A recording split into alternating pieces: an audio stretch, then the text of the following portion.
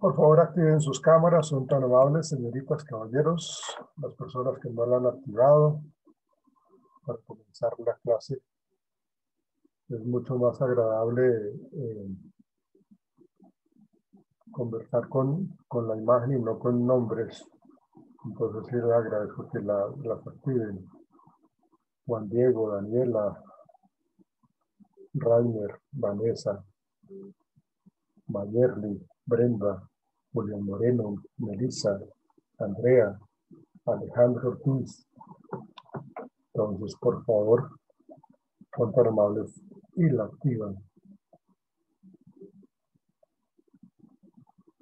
Bueno, eh, buenas noches para todas y todos los asistentes aquí a, a nuestra aula virtual de análisis experimental del comportamiento. Wow. Vanessa, pero tú envidia la buena. Oye, buenas noches. Qué envidia la buena, Vanessa. Tú, tú ahí chicaneando ahí, recibiendo la clase en algún otro país, porque ya está de día. Entonces estar bien lejos. No, pero, profe, esa es, eh, no sé, un, una cosa que trae el, el programa de Zoom. Sí, una animación. La vez pasada tenía otro. Así como hace Leison cuando coloca los caballos. Ay, sí, yo sé, pero qué geniecito el tuyo, Vanessa.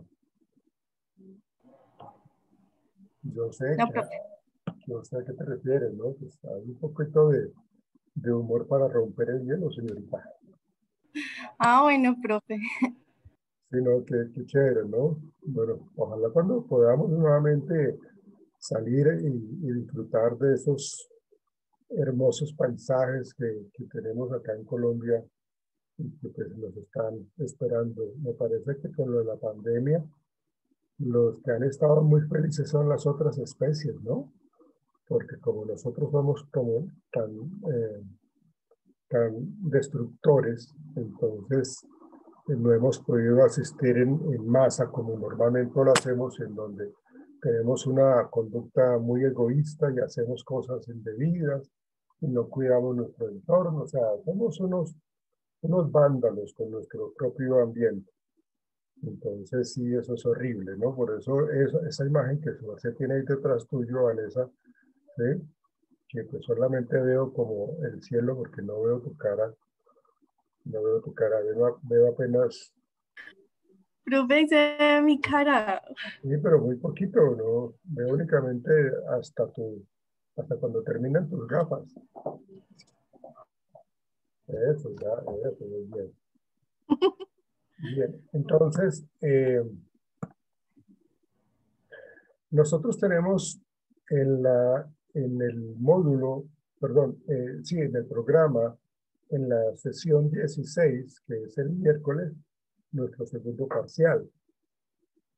Tenemos el segundo parcial, entonces, eh, yo, tú tienes, Maggie, el, el programa de análisis experimental del comportamiento noche disponible ahí a la mano? ¿Inmediatamente lo tienes? No, profe, pero dame un segundo y ya lo buscamos inmediatamente, por favor. quiero que, que mires el, el, en la sesión 16, me parece que yo subí una serie de películas que necesito que veamos. Confírmame eso, Meggy, por favor. Si hay sí, señor.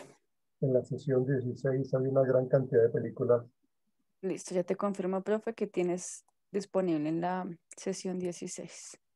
Mira, por favor, y me confirmas si eres tan amable. Bueno, sí, señor.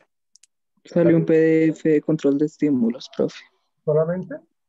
Sí, y un, y, una, y un video, creo que es eso. Ah, entonces no lo he subido. Eh, yo ahorita cuando termine clase voy a a subir eh, lo que tenemos que hacer con el parcial, eh, con base en una serie de películas que quiero que veamos. Pues lógicamente, pues yo voy a escoger como unas eh, 25, 26 películas, o he escogido unas 25, 26 películas para que las veamos. Bueno, lógicamente no las vamos a ver todas, ¿no? Porque entonces no terminamos de, de verdad si se acaba el módulo y no, no hemos hecho la tarea. Pero entonces cada uno va a escoger una y eh, con base en el tema de hoy, en el tema de mañana, eh, hacemos lo mismo que hicimos en el mismo parcial. ¿sí? Eh, analizar la película y plantearla en términos del análisis experimental del comportamiento. ¿sí? Algunas personas hicieron procesos terapéuticos desde otro enfoque. Eh, no estoy diciendo de que no sea eh, efectivo o que no sea posible o que esté mal hecho, sino que eh, necesitamos es evaluar lo que estamos aprendiendo en el módulo. Entonces yo necesito que se basen con, con, con respecto a la, lo que hemos venido trabajando. Entonces, es lo mismo, es el análisis de la película, es el diagnóstico, es eh, los posibles factores causantes del problema, eh, las posibles intervenciones terapéuticas, las técnicas que se emplean, ¿sí? Eh, tal cual como lo hicimos en la, en la, en la actividad anterior.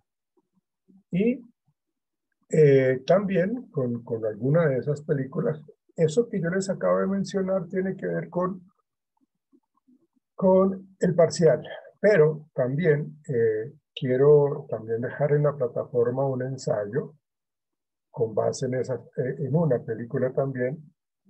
Eh, si yo escojo una película para el parcial, voy a escoger otra película para el ensayo. No, no vamos a analizar la misma, sino vamos a analizar otra película. Pero esa la vamos a trabajar con un tema que vamos a manejar mañana, que, que se llama la teoría del valor de Premack. Entonces, con base en, esa, en ese tema, vamos a abordar el ensayo y la película. Lógicamente, pues... Discúlpame que te interrumpa. ¿El valor de qué? La teoría del valor de Premack.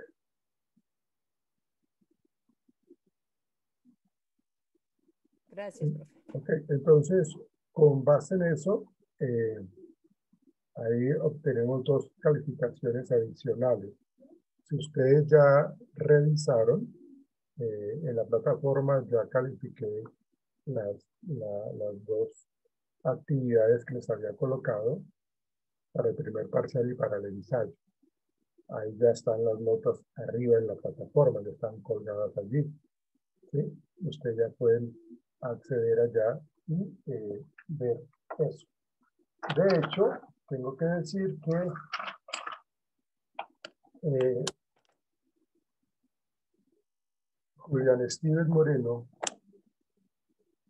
eh, no pude abrir su, su archivo, no pude abrir su archivo del parcial.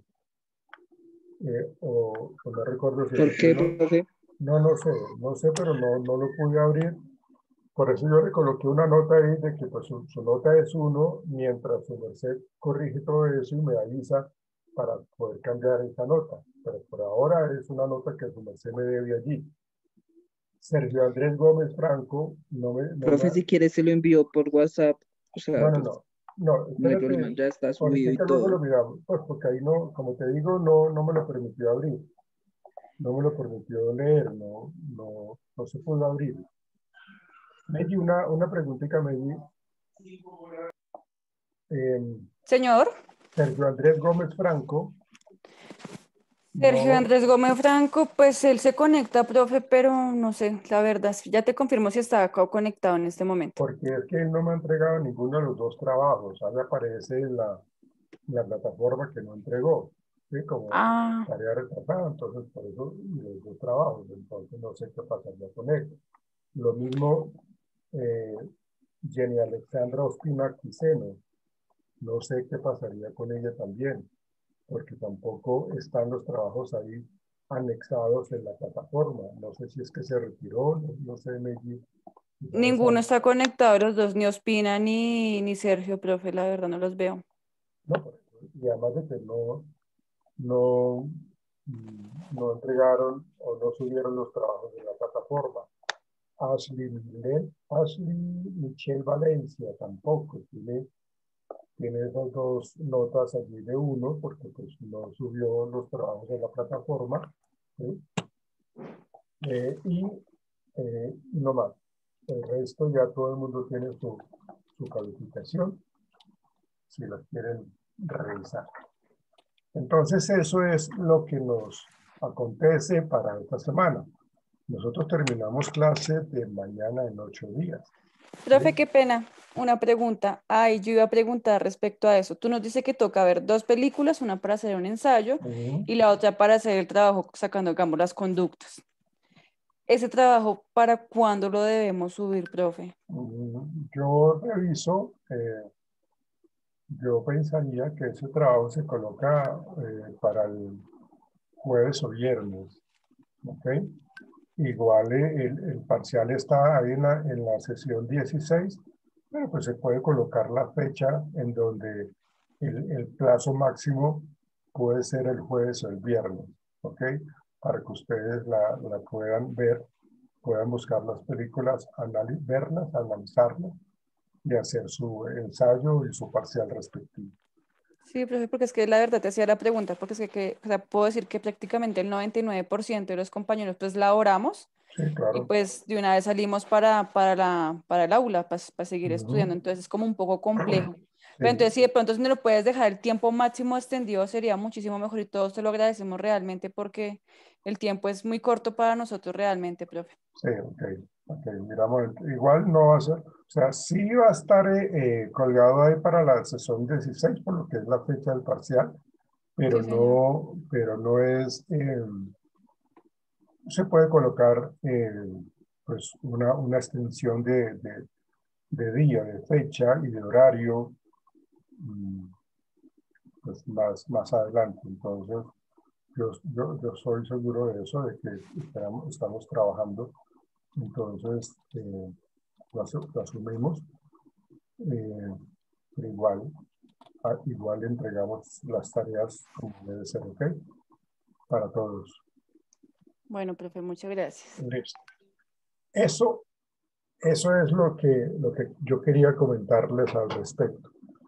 Entonces, vamos a, a iniciar, vamos a hablar de, de, un- de otras eh, técnicas operantes y de otros tipos de, reforzamiento que hemos estado viendo nosotros con el paso de, de las sesiones y que hacen parte de nuestra asignatura de eh,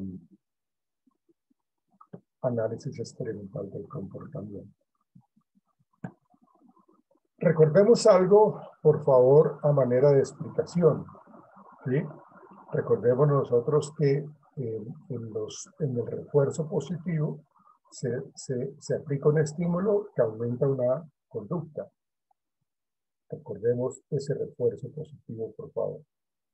Recordemos, por favor, que eh, también cuando nosotros hablamos de un refuerzo negativo, también se está hablando de que se, se retira un estímulo que también aumenta una conducta. ¿sí? Y recordemos también que eh, cuando hablamos nosotros de castigo positivo, estamos hablando de que se aplica un estímulo, pues en este caso es aversivo, que hace que la conducta se disminuya. Y también recordemos que hay un, un castigo negativo en donde eh, se, eh, se, se, disminuye una conducta cuando se retira un estímulo, que es algo placentero para mí, cuando me retiran algo. ¿sí? Entonces, a manera de ejemplo, rápidamente, eh, si nosotros hablamos de, de, un refuerzo positivo, un ejemplo claro puede ser eh, un ejemplo de estímulo, que pueden ser vegetales, si un niño no le agradan los vegetales, eh, se porta bien, digamos, porque hizo la tarea, la mamá puede recompensarlo y decirle que no tiene que comer los vegetales en ese día. Eso sería un reforzamiento positivo. ¿sí? ¿Por qué? Porque el niño tuvo una conducta adecuada, una conducta esperada y se le dio un estímulo, que en este caso es que no comiera lo que no le gusta. Si este mismo niño se porta mal haciendo una rabieta, su madre puede entonces castigarlo al ordenarle comer doble eh, de vegetales ese día. ¿sí? Entonces, ahí estamos hablando de ese, eh, ese, ese castigo positivo, ¿no? Un castigo positivo en donde hay una mala conducta, entonces le digo, venga, mijito, siéntese acá y se come estas dos eh, tazas de, vegetales. Eh, volvamos a, al, al, al, ejemplo que, al cuadro eh, que yo les mencioné ahorita de lo de, de lo de el, el, refuerzo positivo, el castigo positivo. Permítame un instante que quiero dar reingreso a, a un estudiante. Listo.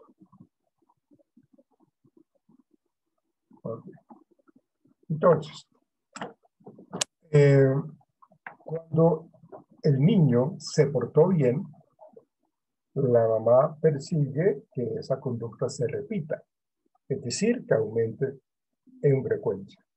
Cuando se portó mal, su objetivo pasó a ser que se inhiba o elimine la conducta. Claramente, en el primer caso es un reforzamiento, mientras que en el segundo caso es un castigo. Pero ¿cuál es el positivo y cuál es el negativo? Entonces, el estímulo se aplica o se retira. ¿sí? Por ejemplo, resulta que en, en el ejemplo presentado, la madre refuerza al niño retirando los vegetales, que sería el estímulo negativo, es decir, se trata de un reforzamiento negativo. ¿sí? ¿Por qué? Pues porque eh, aumenta la conducta de portarse bien y le retiramos que se coma los vegetales. Ese sería eh, el ejemplo de el refuerzo negativo. Porque le estoy retirando ese estímulo. Se trata de un reforzamiento negativo. En el castigo, aunque es menos común que se clasifiquen los castigos, es de tipo positivo, pues se añadió adicionalmente un vegetal. Sabemos nosotros de que tanto en el castigo positivo como negativo lo que hacemos nosotros es eh, hacer que una conducta se disminuya.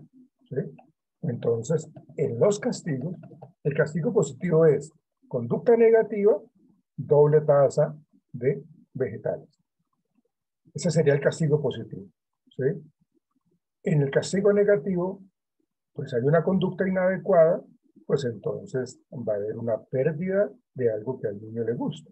Entonces, ahí vemos nosotros el castigo negativo. ¿sí? Acuérdense que en el reforzamiento negativo hay una conducta agradable, al niño entonces no se le da su, no se le da sus vegetales si no le gusta.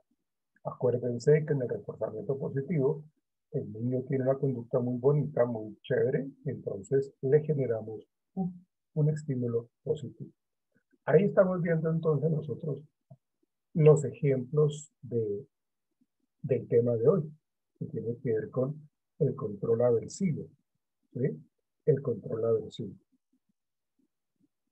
En conclusión, el reforzamiento negativo se refiere a retirar un estímulo aversivo del ambiente de la persona para aumentar la frecuencia de una conducta. Es decir, eh, es fácil identificar si estamos hablando de reforzamiento negativo y reforzamiento positivo o castigo cuando nos planteamos las preguntas correctas. La conducta, primero, por ejemplo, la conducta va a aumentar. Estamos hablando de reforzamiento. La conducta va a disminuir. Estamos hablando de castigo. Y segundo, el estímulo se, eh, se determina como positivo o eh, cuando, cuando se propicia, cuando se da, o será negativo cuando se retira. ¿sí?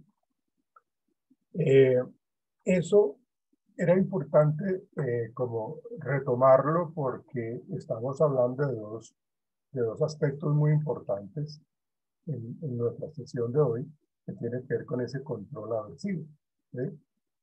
Eh, y aquí hay dos ejemplos eh, interesantes cuando nosotros hablamos del control aversivo. Hablamos nosotros de dos eh, situaciones que se presentan. Y una de ellas es de escape y la otra es de evitación.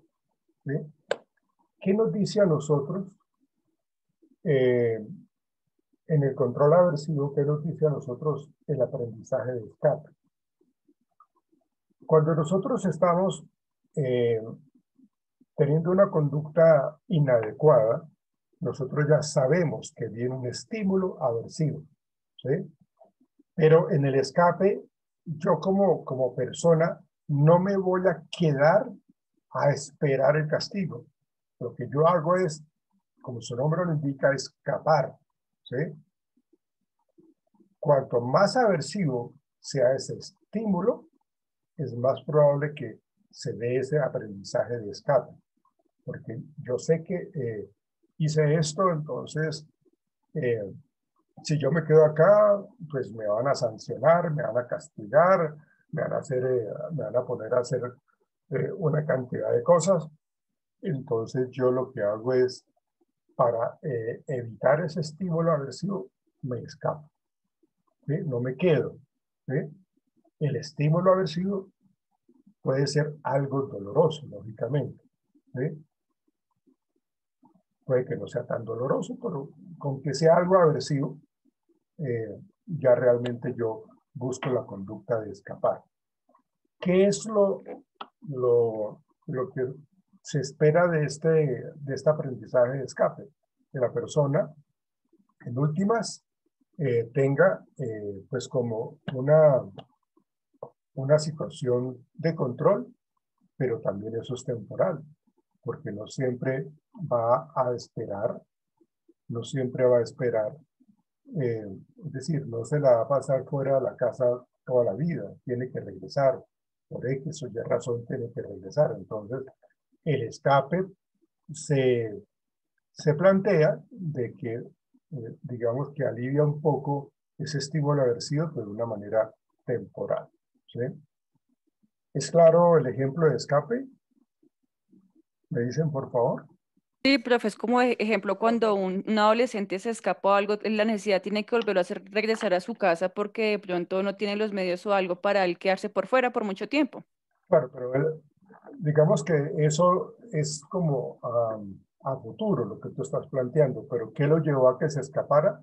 Pues de que los padres se dieron cuenta de que él robó un dinero y sabe que si se queda ahí lo van a sancionar, ¿sí? Lo van a sancionar. Entonces él, eh, o que rompió un vidrio, o que le pegó al hermano, entonces como, como se viene el, estímulo aversivo, que es el, la sanción que le brindan los padres, entonces él lo que prefiere es escapar. O sea, se incrementa la conducta de escape para disminuir el estímulo aversivo. Entonces, ¿qué es lo que aprende la persona? A escapar. ¿sí? Siempre lo va a querer, lo que va a querer es escapar, ¿no? No me los imagino como mis papás, o sea, con solo imaginármelo la cara ya me da mucho miedo. Entonces yo salgo corriendo y me escapo. ¿sí? En el aprendizaje de evitación, que es la otra, eh, el otro procedimiento que se, que se genera cuando hablamos nosotros del control aversivo, ¿sí? en este proceso de aprendizaje que permite eh, eh, permanecer lejos de los estímulos aversivos. ¿sí? Eh, yo no he hecho la tarea, o sea, no he hecho la tarea de, de, de, lavar la losa, no he hecho la tarea de organizar la casa, no he hecho la tarea de, de de ayudarle a, a cuidar a, mi mamá, a mi hermanito, entonces no la he hecho. ¿sí? Pero si yo no la hago, muy probablemente voy a recibir un aversivo.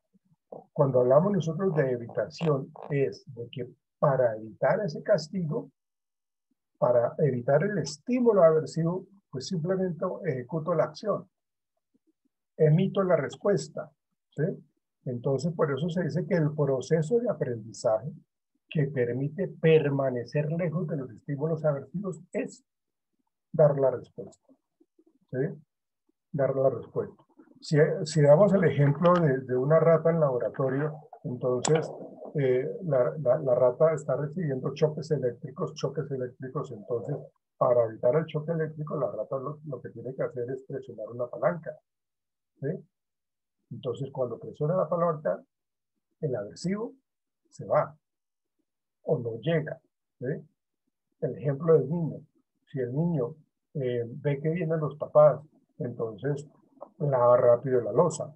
Entonces, asumió la conducta para evitar ese estímulo aversivo.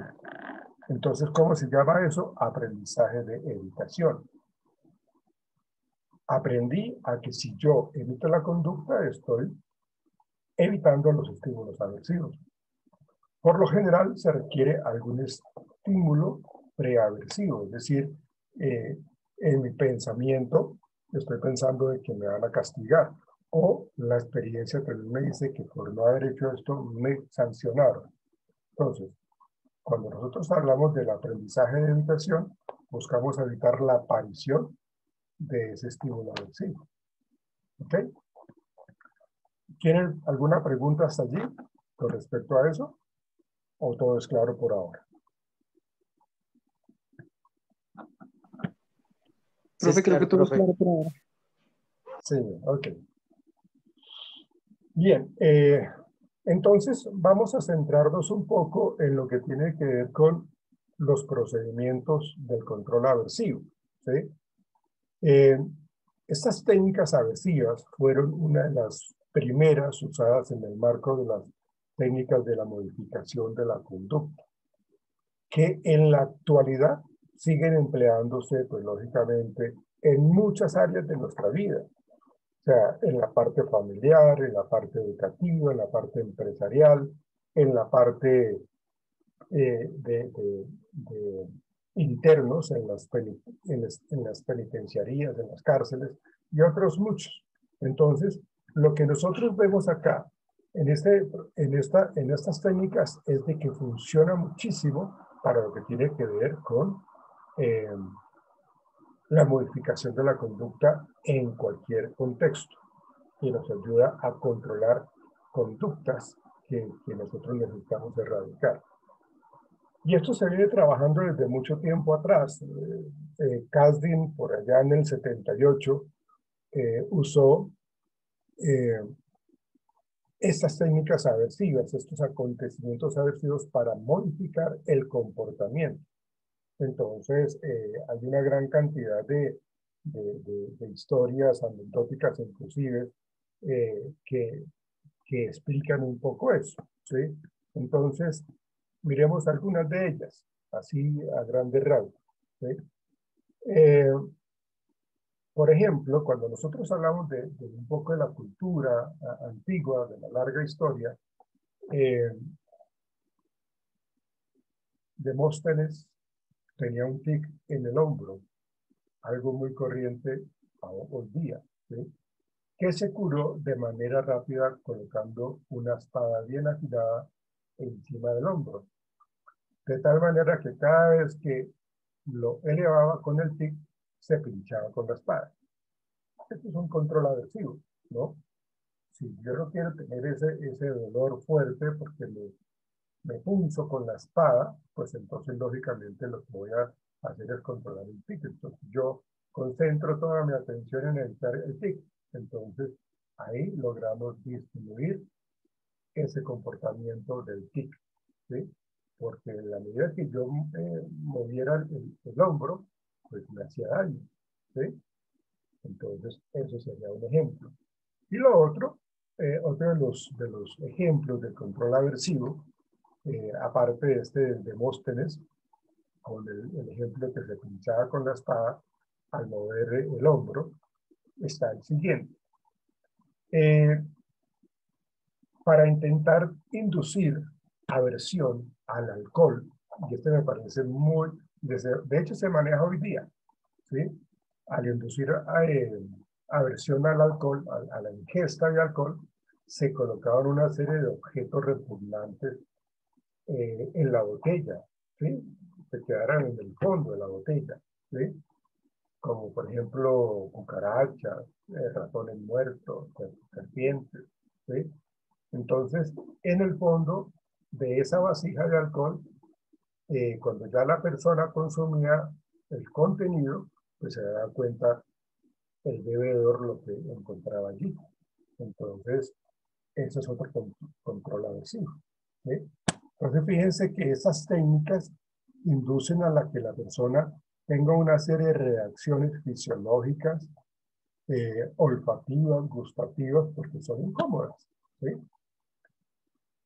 Eh, digamos que el primer uso formal de la terapia aversiva fue más o menos como en 1929, eh, en donde lo que se administraba eran choques eléctricos dolorosos. Estos choques eléctricos dolorosos pues eran, eh, pues lógicamente, pues muy incómodos y molestos para quien los padecía. Entonces, eh, ¿qué es lo que hacían cuando se hablaba de la terapia aversiva? ¿Sí? Lo que se hacía era a los pacientes alcohólicos, a los eh, se les presentaba pues como, como estos choques eléctricos eh, ante la vista, ante el olor y ante el gusto del alcohol. Es algo muy claro que se trabajó en la naranja mecánica, en la película esta de la naranja mecánica. Entonces la vista, el olor y el gusto eh, del alcohol pues les generaba a ellos ese choque eléctrico. ¿Quién va a querer que tenga uno una serie de de sensaciones dolorosas cuando, cuando uno está queriendo tomar licor, oler la botella o siquiera verla. Entonces, como, como hay un control de, de esos estímulos, pues se le genera la, el choque eléctrico. Y esto se trabajó muchísimo en el condicionamiento pavloviano. Eh, ellos fueron, eh, Pavlov y Becquerel fueron capaces en, en, en 1927 de establecer reacciones aversivas en respuesta a estímulos neutros. ¿Por qué? Pues por, por aquello condicionamiento clásico. El condicionamiento pavloviano allí nos invita a nosotros a eso, a que nosotros manejemos el condicionamiento a nuestro antojo. ¿sí? ¿Para qué? Pues para modificar esa conducta. ¿sí? Eh, pero entonces, ¿cómo se hacía? Eh, lo que se pretende con, el, ustedes saben de que siempre hay una serie de asociaciones entre estímulo incondicionado y estímulo eh, respuesta incondicionada. Eh, y pues allí lo interesante era que se trabajó de una manera muy frecuente, eh, más o menos como en la década de los, en la década de los 60 a comienzos de los 70 para trabajar o para tratar personas que eran ludópatas, eran jugadores compulsivos, que tenían perversiones sexuales y tenían pues como una, una adicción al alcohol, era un, era un alcoholismo crónico. Entonces se manejó toda esa serie de asociaciones de estímulo eh, condicionado para poder generar ese, ese cambio comportamental. ¿sí? Eh, Lógicamente esto pues tiene que ver muchísimo con todo lo que se trabaja en, en, en las diferentes áreas que yo les había comentado anteriormente, ¿no? En la escuela, en la casa, en el trabajo, en lo social. Entonces, pues es de una gran eficacia en el componente clínico, en el área clínica. Eh, con muy buenos resultados. Pero claro, pues lógicamente a veces muchas personas eh, se, se, oponían a esto pues por razones éticas para su implementación, ¿no? Entonces estas razones éticas tienen que ver como la, la cantidad del, del castigo o de, o, de, o de lo negativo que se le aplica a la persona, la edad del mismo, entonces pues porque no podemos estar eh, colocando choques eléctricos a los pequeños, porque pues, pues, lógicamente tiende a ser como negativo. ¿sí? Entonces eso fue una de las cosas que que más se le cuestionaron, se le criticaron a todas estas terapias conductuales relacionadas con lo aversivo, pero que son efectivas, son muy efectivas, porque estamos hablando de la modificación del comportamiento. Pero entonces se utiliza precisamente para el comportamiento desadaptativo serio que puede ocasionar daños a la misma persona o a los demás. Comportamiento desadaptativo extremo y duradero eh, y que a veces se torna resistente a programas de intervención. Entonces hay que prácticamente atacar de raíz eso. Esa extrema gravedad y desajuste que no permita la atención para el desarrollo de comportamientos positivos. Entonces aquí lo que hacemos nosotros es generar como unas eh, actividades recreativas o de resocialización para poder determinar lo que estamos haciendo en cuanto a, a ese cambio conductual. Miremos de qué manera nosotros podemos generar ese cambio conductual con esas actividades recreativas y de resocialización. O sea, que no sea solamente choque eléctrico, que no sea ese control aversivo tan fuerte, sino que veamos cómo nosotros hacemos uso de esas actividades recreativas y de resocialización. Entonces, hay que entrenar a los pacientes en muchas cosas, precisamente para que adquieran comportamientos funcionales, positivos que nosotros queremos que tengan eh, en algún momento determinado. Pero como les digo, pues eh, hay, hay ahorita mucha ausencia de esos programas aversivos por, eh, por lo que tiende a ser pues como, como que falta la ética, ¿no? Entonces, esa parte pues es muy interesante mencionarla en cuanto a, a esos procedimientos aversivos. Entonces, eh, se intenta explicar la, la, ausencia de esos, de esos programas aversivos y eh, de, del por qué de, se estaban tratando de evitar esas, esos usos del programa aversivo. Vamos a mirar ahorita, cuando eh, vamos a continuar en, en, esta explicación, ya regresamos ahorita porque nos va a retirar la plataforma, entonces, permítanme. Eh, y volvemos en cuestión de segundos. ¿Ok? Ya regreso.